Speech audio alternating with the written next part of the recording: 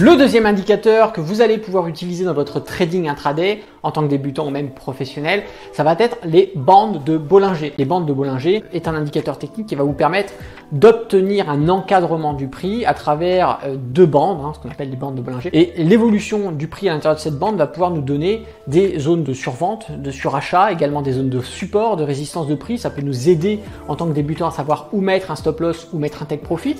Également mieux comprendre eh bien, une phase de d'une phase d'accélération et mettre en évidence cette fameuse phase de stabilisation, euh, de progression, de distribution, euh, telle que l'on peut avoir euh, sur une phase classique d'évolution de marché.